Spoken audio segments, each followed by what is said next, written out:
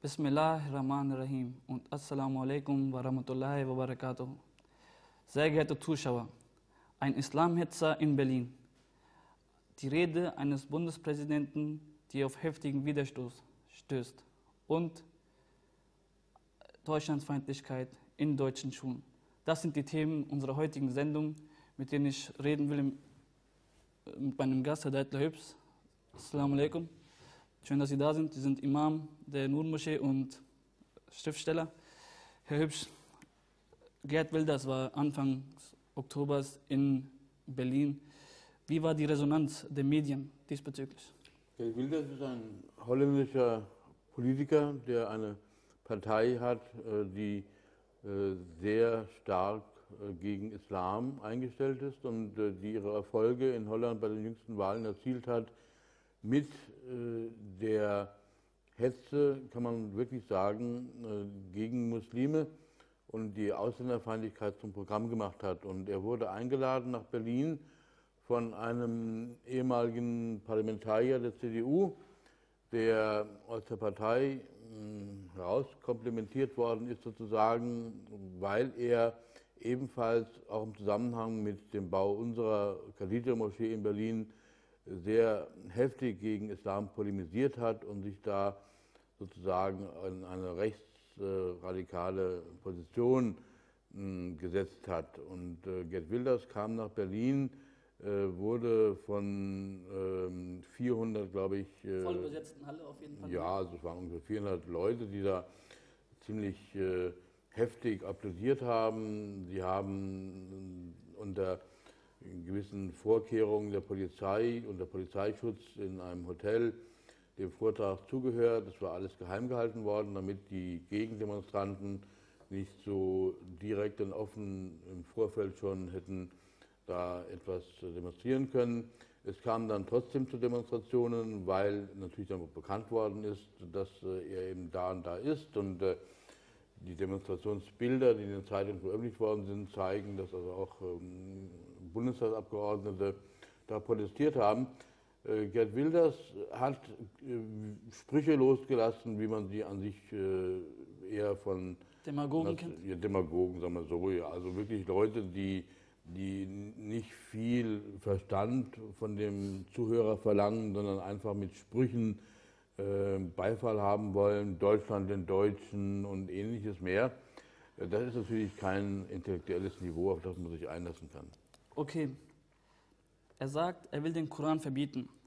Er sagt, er will Moscheebauten verbieten und er will die Zuwanderung von islamischen Ländern stoppen.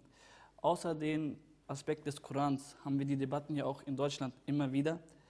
Glauben Sie, dass ein Politiker gleichen Maßes in Deutschland in Zukunft erfolgreich sein könnte? Ja, wie sagt man so man weiß es nicht. Äh, zum einen ist äh, durch den Fall Sarrazin ja deutlich geworden, dass äh, etwa 18 Prozent der Deutschen für eine Partei stimmen würden, die rechts ist. Die rechts von der CDU ist, aber nicht eben NPD ist. Auf der anderen Seite ist das Potenzial von Protestwählern, die aufgehetzt durch bestimmte Medien wirklich jetzt ganz stark gegen Islam Front machen, ziemlich groß. Bei jüngsten Umfragen, die vor einigen Tagen erst veröffentlicht worden sind, kam heraus, dass 30 äh, Prozent der Deutschen oder über 30 Prozent wollen, dass alle Muslime aus Deutschland vertrieben werden. Also das hatten wir noch nie. Also eine so radikale Situation, äh, das ist ganz neu, ist eine neue Qualität, wie man so schön sagt. Und es ist durchaus möglich, dass sich äh, einer findet, der mit ähnlichem Wahn ausgestattet und ähnlichem äh, Popularismus äh, und ähnlichem Charisma äh, Leute auf seine Seite bringt. Äh, man Wir erwartet hatten, das ja. Man hat ja, ja auch Tilo Saratin gemeint, er sollte die Partei gründen, ja, ja. abgelehnt, weil er gesagt hat, die Volksparteien müssen dieses Problem. Ja, wir, haben, wir haben diese Führergestalt in Deutschland, die sich viele ersehen. Viele ersehnen eine, eine starke Hand äh, also diese Mentalität, äh, nicht nachdenken zu müssen und stattdessen Parolen nachzurennen, die ist in Deutschland noch vorhanden. Und da hat auch die kritische Aufklärung durch die 68er nicht das Ergebnis erzielt, das man sich gewünscht hat, nämlich dass die Deutschen aufwachen. Also die, die Ketten äh, des Nationalsozialismus sozusagen sind noch in Bereichen der Bevölkerung vorhanden. Das sieht man ja auch an starken rechtsradikalen Parteien. Da ist schon eine Gefahr da, aber weit und breit ist keine Führergestalt in Sicht. Also kann man die These der Frankfurter Schule wieder aufgreifen, dass Aufklärung ihr Ziel verfehlt hat? Naja, also verfehlt ist ein bisschen viel gesagt, das ist immer gleich so radikal. Äh, es hat sich schon vieles getan. Also ich meine, es gibt ja äh, Barrieren gegen diese Rechtsradikalen. Es gibt äh, gewisse Kreise, vor allem innerhalb der Jugend, die sehr stark äh, antiautoritär eingestellt sind und die sich das auch nicht gefallen lassen, äh, was da Leute wie Wilders in Berlin und anderswo äh, vorbringen. Äh, die Demonstrationen sprechen da eindeutig. Das trifft sich gut. Herr Hübsch, wir haben einen zum Glück Bundespräsidenten Christian Wulff, der in einer Rede der deutschen Einheit gesagt hat, das Christentum gehört zweifelsfrei zu Deutschland. Das Judentum gehört zweifelsfrei zu Deutschland, aber der Islam gehört inzwischen auch zu Deutschland. Und es ist äh, beachtenswert, äh, dass er parteiübergreifend auch in anderen Parteien Zustimmung erfahren hat. Wir hören uns mal an, was die Frau Christine Buchholz, die aus der Partei Die Linke ist, dazu sagt. Ja, Frau Buchholz, äh, ja. willkommen bei der Presseshow. Ähm, was sagen, was halten Sie von der Wulff-Rede, von, von der Aussage des Bundespräsidenten Herrn Wulff äh, darüber, dass der Islam zu Deutschland gehört? Was halten Sie von dieser Aussage? Ja, zunächst, ähm, ich fand die Klarstellung vom Bundespräsidenten Wulff, ähm, dass der Islam zu Deutschland gehört, fand ich sehr, sehr wichtig, gerade im Zusammenhang der Diskussion um die Äußerung von Tito Sarrazin und um die öffentliche Diskussion, die dadurch angeheizt und angefacht wurde. Und von daher fand ich für mich ehrlicherweise auch überraschend, fand ich, dass es ein wichtiges ähm, Signal war auch, ähm, dass Wolf nochmal klargestellt hat, Deutschland ist ein Einwanderungsland. Das war zunächst erstmal ein positives Signal. Äh, was denken Sie, woher kommt, äh, was sind die Ursachen, die Hintergründe dieser Stimmungsmache? Diese, wir haben, Sie haben diese Umfragen angesprochen. Es gibt sehr viele Umfragen, die, ähm, wo man klar sieht, dass der Islam klar abgelehnt wird von der Mehrheit der Bevölkerung. Woran liegt es?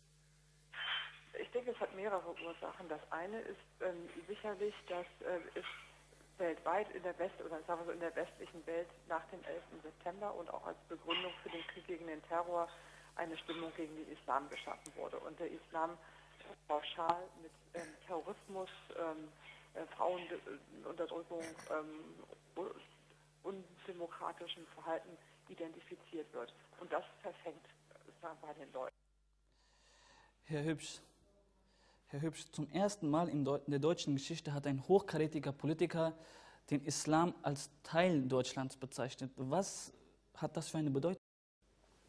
Naja, also so ganz, ganz neu ist es ja nun auch wieder nicht. Ich denke an den berühmten äh, Preußen-Regenten, äh, den alten Fritz, der also König von Preußen war, der damals gesagt hat, äh, wenn denn die Türken in Preußen, in Deutschland siedeln wollten, würden wir ihnen Moscheen bauen. Also das war jetzt vor 200 Jahren. Und auch äh, Kaiser Wilhelm hat äh, damals, äh, also Anfang des 20. Jahrhunderts, äh, äh, eine Moschee gebaut für äh, Muslime, die in der Armee gedient haben. Dieses Angebot wurde ja angenommen. Die Türken sind damals hier nach Deutschland gekommen, wir haben heute über drei Millionen Muslime, ja, aber trotzdem ja, hat diese Siri, Anerkennung es, gefehlt. Es ist, es ist, eine neue Qualität, wie man so schön sagt, mhm. das nochmal. Aber ähm, das, das wirklich äh, Bahnbrechende ist, dass ähm, der Bundespräsident sich äh, auf die Seite der Muslime gestellt hat, indem er gesagt hat, äh, ich bin auch Präsident der Muslime. Das heißt, er hat äh, sich äh, äh, erklärt als jemand, der für die Muslime spricht und der von den Muslimen auch angenommen werden möchte. Und die Muslime generell haben das ja auch angenommen, was er gesagt hat. Sie haben das ja auch äh, gut geheißen, nicht nur, sondern auch äh, regelrecht bejubelt. Ähm, das ist schon äh, bewundernswert, dass er den Mut gehabt hat, sich so äh, darzustellen und so zu geben. was das bedeutet, ähm, ja nun, das ist ein kleiner Durchbruch. Es ist nicht so riesig, denn die Opposition, die sich daraufhin ergeben hat, die ist ja nun gewaltig gewesen. Ja, also was haben denn die Deutschen, für mich als Muslim ist es natürlich auch ein Zeichen der Anerkennung, dass er meinen Status quo anerkennt. Mhm. Aber was hat im Konkreten die deutsche Aufnahmegesellschaft für ein Problem damit? Also wenn wir heute die Berichterstattung lesen, können wir daraus schließen, dass viele Menschen ein Problem mit dieser Aussage haben. Naja, das ist natürlich ein bisschen, ein bisschen hausgemacht, sage ich mal. Also äh, im Haus des Islams gemacht. Äh, die Muslime generell äh, sind ja nicht alle, äh, also die geboren sind als Muslime, sind ja nicht alle gläubig. Also von den rund 4 Millionen, die wir hier haben, sind etwa nur 10 Prozent, 15 Prozent organisiert und äh, gehen regelmäßig in die Moschee. Äh, ja, vielleicht noch ein paar, paar mehr. Aber äh, es ist in einer Untersuchung rausgekommen, dass 80 Prozent der jugendlichen Muslime in Deutschland keine Ahnung vom Islam haben.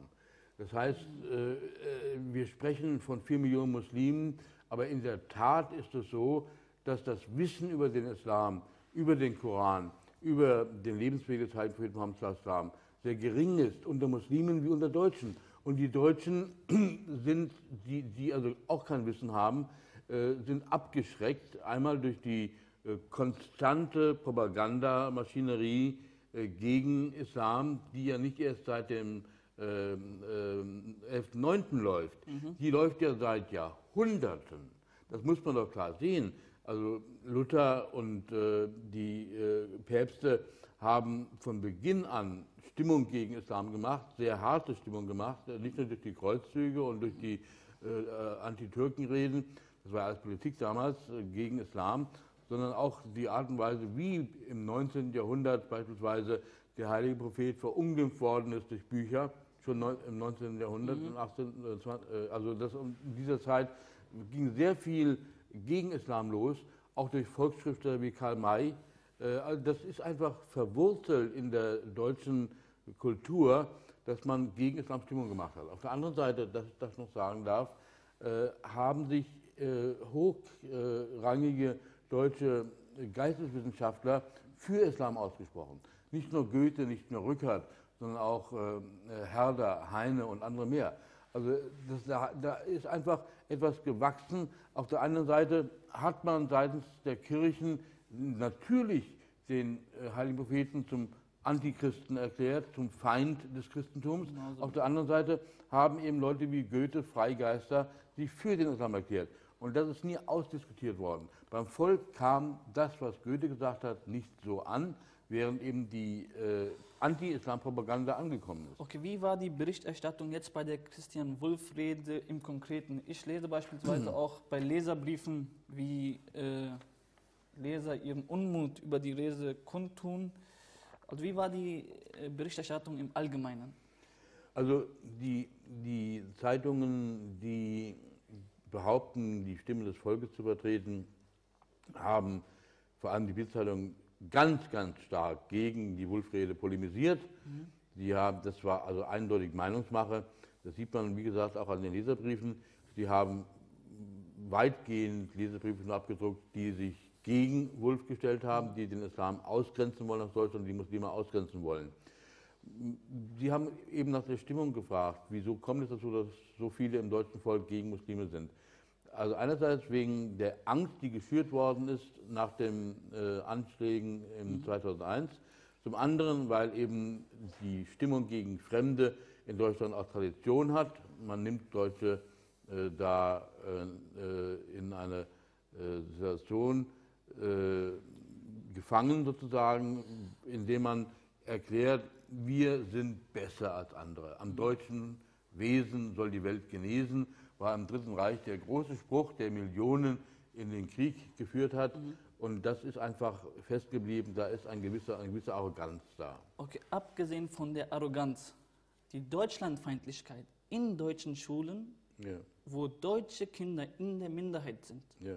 und türkisch-arabischstämmige Kinder in ja. der Mehrheit, ist es eine Tatsache, dass deutsche Kinder gemobbt werden, beschimpft werden. Finden Sie nicht, dass die Menschen zu Recht äh, diese Sache dann kritisieren, wieso diese Menschen dann so viel. Das ist auch wieder wahr. Ähm, äh, nur die Stimmung ist, äh, hat sich aufgeputscht. Ja? Es ist ja eine Spirale. Mhm. Auf der einen Seite verhalten sich, wie ich eben schon sagte, von den vier Millionen Muslimen in Deutschland die wenigsten so, dass man sie als Vorbild sehen kann. Äh, viele haben keine Ahnung vom Islam oder verhalten sich barbarisch, mhm. behaupten, den Islam zu vertreten, für Allah einzutreten, äh, für den Propheten einzutreten und, und benehmen sich so, dass eine Schande ist äh, für den Islam, weil sie sich wirklich äh, äh, zügellos und äh, brutal und gewalttätig benehmen, dass sie keine Ahnung haben. Und das fällt aber unter den islamischen. Wenn ich lese, dass die FAZ tituliert muslimische Intoleranz, vergifteter Schulklima, im Artikel ja. liest man auch, dass ja. die indoktriniert werden ja. von den Mullahs dazu, dann finden Sie das gerecht, dass diese Leute das unter den islamischen... Naja, wenn man, wenn man der Meinung ist, man ist weiterentwickelt als die Muslime, dann sollte man eben auch sich auf seine christlichen Tugenden besinnen und versuchen, die Muslime mit Liebe zu gewinnen. Ja, mhm. das versuchen wir, Ahmad, die Muslime, ja, die Deutschen, die gegen uns sind, mit Liebe zu gewinnen. Das Christentum hat da versagt. Das mhm. Christentum, das eben diesen äh, Hass auch genährt hat durch die Art und Weise, wie man Islam ausgegrenzt hat über Jahrhunderte hinweg und äh, polemisiert hat gegen Islam mit den schärfsten Worten. Mhm. Dieses Christentum ist heute äh, nur auf Papier mehr oder weniger vorhanden und nicht in der Lage, die Muslime für sich zu gewinnen. Die Muslime sind in einer zwiespältigen Situation. Auf der einen Seite sind sie Fremde. Sie sind ausgegrenzt durch ihre Hautfarbe, durch ihre Sitten, durch ihre Gebräuche, durch ihre Traditionen. Und vor allem die Traditionen sind es, die für Unmut sorgen, weil man zu Recht von deutscher Seite her nicht akzeptieren kann, dass es so etwas gibt wie eben äh, Zwangsheirat, Ehrenmorde oder äh, andere Formen von Unterdrückung. Ähm, das stößt den Deutschen bitter auf, obwohl sie sich ebenfalls auch so verhalten. Ehrenmorde gibt es auch im europäischen, im deutschen Bereich. Also die, die Muslime sind in einer Zwangslage. Einerseits haben sie keine Erziehung und andererseits müssen sie sich wehren äh, gegen diese Ausgegrenztheit. Und äh, da sie keine Erziehung haben und nichts genaues Wissen, wie sie sich verhalten sollen, äh, richten sie ihre Aggressionen, äh, anstatt Selbstkritik zu üben, gegen die Deutschen. Das ist also ein sozusagen in Anführungszeichen natürlicher Vorgang. Schlimm ist das natürlich, aber was soll man tun? Also ich meine, ja, was ist die Lösung? Das ist die, die, die Lösung wäre auf der einen Seite, da sind wir ja hier in Deutschland Gott sei Dank so weit, dass da also Ansätze gemacht werden, in den Schulen Islam so zu unterrichten, dass den Muslimen deutlich wird, was der Prophet für ein Vorbild gegeben hat bezüglich ähm, des Verhaltens gegenüber Andersgläubigen. Ja, aber die Kinder, die indoktriniert werden, die werden doch gar nicht diese Argumente annehmen des Islam, der das, der, die werden in ihren Hinterhofen schön dann selber. Ja, da, da wird es da da einen Clash geben, da wird es einen Zusammenstoß geben. Mhm. Einerseits, wenn es denn nicht alle Mullahs, nicht alle Hodjas sind dann so geartet, dass sie total Front machen. Es gibt da einige Hassprediger, das wissen wir. Ähm, das äh, ist bekannt, aber äh, es gibt ja nun auch Moderate, es gibt ja auch Leute, die ein bisschen Weisheit besitzen, die mhm. eben doch äh, einfach vom Islam her was gelernt haben als Gelehrte. Also von daher gesehen wird es mancherorts einen Clash geben und da werden die Jugendlichen selbst sehen und entscheiden müssen, ob sie dem folgen, was ihnen im Unterricht von den Quellen her gesagt wird, was der Koran sagt, wie man äh, sich verhalten soll, äh, selbstlos sein, äh, spenden den anderen gegenüber, seien es Verwandte, äh, Güte zeigen, Barmherzigkeit zeigen, Gerechtigkeit äh, zeigen, gerecht sein, aber nicht selbstgerecht. Und äh, was der Prophet als Beispiele gegeben hat, da werden Sie das in der Schule hören. Und wenn die, die Hodjas und die Mullahs kommen und sagen, nein, ihr müsst hassen, ihr müsst kämpfen und so weiter, dann wird man da in, als Schüler in einer Konfliktsituation sein. Das ist gut so. Okay, kommen wir zurück auf die Rede von Wolf. Man hat öfters auch das Argument, das Scheinargument gehört, wir wollen in Deutschland das Grundgesetz, das auf christlich-jüdische Tradition beruft, sich beruft und nicht die Scharia. Obwohl Christian Wolf das doch eindeutig klar gemacht hat, ich zitiere ihn, er sagt, zu Hause zu sein in diesem Land, das heißt, unsere Verfassung und die in ihr festgeschriebenen Werte zu achten und zu schützen Zuallererst die Würde eines jeden Menschen, die Meinungsfreiheit, die Glaubens- und Gewissensfreiheit, die Gleichberechtigung von Mann und Frau, sich an unsere gemeinsamen Regeln zu halten und unsere Art zu leben zu akzeptieren. Wer das nicht tut, wer unser Land und seine Werte verachtet, muss mit entschlossener Gegenwehr rechnen. Das gilt für fundamentalistische ebenso wie für rechte und linke Extremisten. Also wenn Christian Wulff diese Position klar macht, wieso wird dann mit der Scharia der Sachverhalt so dramatisiert? Weil die Scharia ein Popanz ist, wie man sagt. Das heißt, sie ist ein, ein Gebilde, was aufgebauscht worden ist zum Gespenst, zum, zum Monster. Mhm. Äh, die Scharia ist ja gar nicht so, wie die Leute sagen. Die denken bei Scharia an zwei, drei Dinge, Handabhacken und Steinigung, das sei die Scharia. Das ist ja Schwachsinn. Die Scharia äh, ist der Weg des Islams. Das Scharia kommt von dem Wort Schariat, das heißt so viel wie Tränke oder äh, auch Quelle oder so. Ja? Also das heißt, die Art und Weise, wie Muslime leben, richtet sich nach dem, was Allah im Koran erklärt hat. Und die Gesetzesmäßigkeiten, die auch darin vorhanden sind hinsichtlich des Strafrechts, sind nur ein kleiner Bruchteil äh, von der Scharia. Die Leute werden hier zur Panik getrieben, indem man ihnen sagt Scharia und macht den riesige Angst, als würden sie morgen alle einen Kopf kürzer gemacht. Ja. Okay, reden das wir dann ist noch? aber, Moment, eins, eins, eins noch. Äh, das ist aber eine, eine, eine ähm, Phantomvorstellung, weil nämlich gar nicht klar ist, was ist eigentlich die Scharia, da es viele Rechtsschulen gibt und da sozusagen jeder Hodja, jeder Mutter eine eigene Vorstellung von Scharia hat.